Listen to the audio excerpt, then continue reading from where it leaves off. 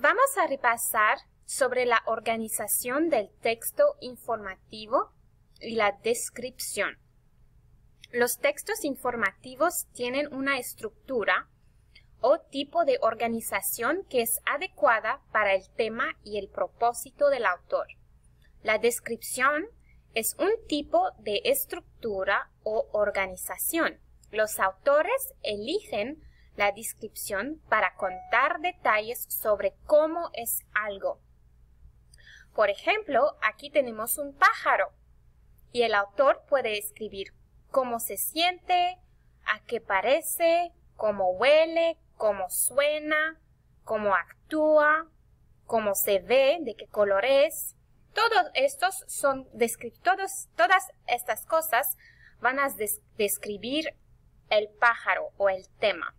Entonces, el autor describe el tema de que se trata el libro para que tú puedas comprender mejor los textos informativos.